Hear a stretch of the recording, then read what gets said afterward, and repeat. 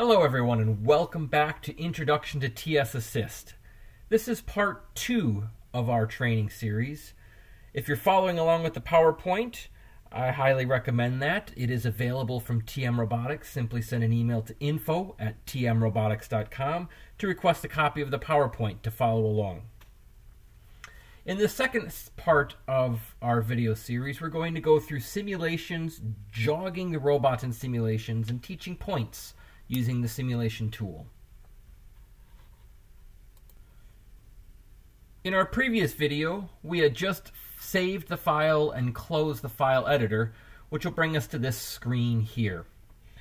For the next step, what we're going to do is we're going to start the simulator. As a reminder, we selected the THE 400 robot with its standard controller for our robot in our project, and that's what's going to be loaded up here in the simulator. Once we're here, we're going to go to File, Edit, and from File, Edit, we're actually going to select our program that we created in the last video, File 1, and that will open up this file here. Now, with TS Assist, you have the ability to custom change these files uh, or the screen layout to kind of suit your needs. There is, however, some default layouts that we will utilize, especially when we're doing service and support over the phone or via email. These layouts are going to be very helpful. And someone may suggest, for example, to go to layout 2 so that we're all looking at the same screen. For me personally, I like to use layout 2 and then I typically will close the 3D tree that you see here. And this is the screen I typically operate from. To give you a quick orientation of what you're looking at here, there's a few different parts of the screen that I'd like to point out. We have the operation panel. We're going to get to this in a second. This is how we're going to be jogging the robot. We have our 3D view, which is going to give us a live view of the robot as far as what it is currently configured to be, as far as position, then we have our program editor. In this case, because we have file one open, that is the program that is going to be displayed here. We have our position monitor where we're able to monitor the current position of the robot.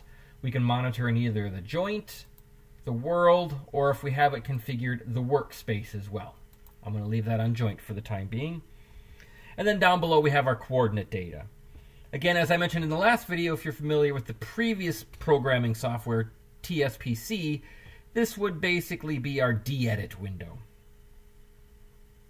Now talking about jogging, there are a few different ways to jog the robot.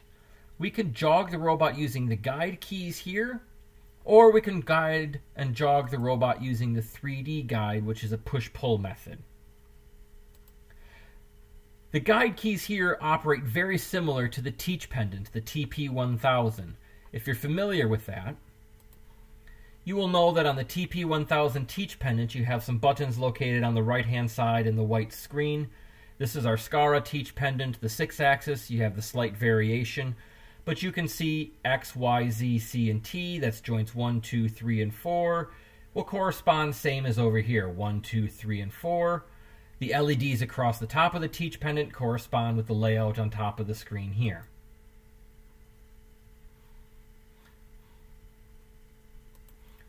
So in this case, for jogging the robot, we have we can do joint one. We can change the speed, go to medium speed. We can see joint two. We can go to a high speed. We can see joint three. And we can see joint four. You can see the rotation of joint four there. We can also go into our world coordinate space and we can go in the x minus direction, y plus, y minus, we can do rotation. We can also work in the tool space.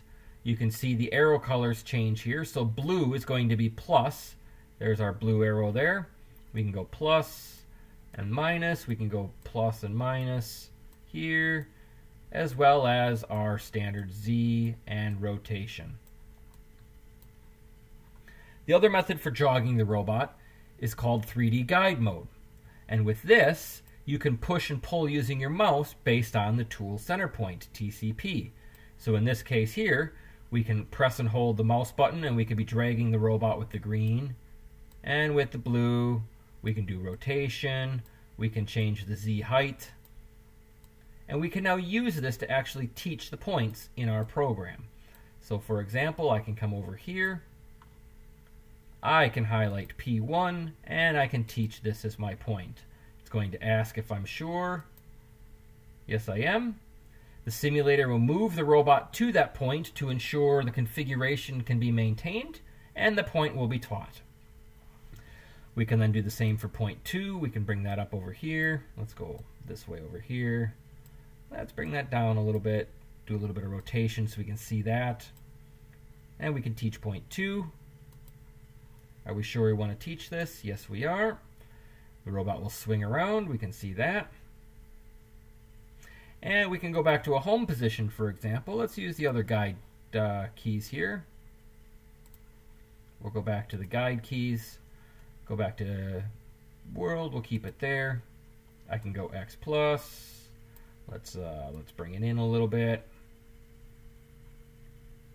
And let's bring the Z right up to the top.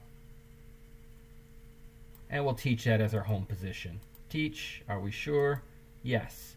Now this time it didn't have to jog back to that position because we've already jogged through there. It's already moved the robot using the run commands internally, which allows it to know that the position is safe. Of course, we can always manually enter data here. I can double click here and make that zero, for example. I can make this a clean 130, for example. And I can manually put numbers in here if we wanted to. For example.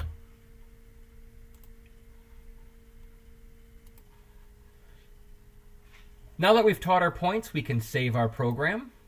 Just in case, and as a good habit, we can do a syntax check, make sure there's no problems there. And we're going to exit the file editor.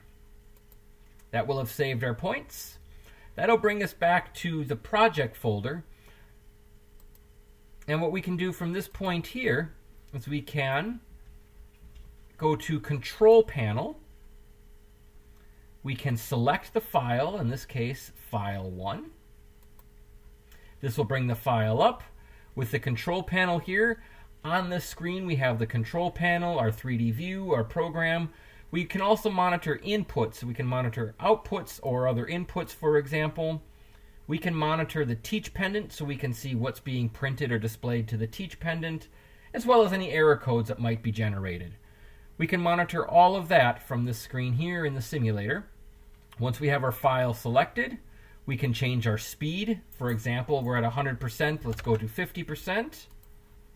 We can change our mode if we want it in continuous operation, so when it gets to the end statement, it will cycle back.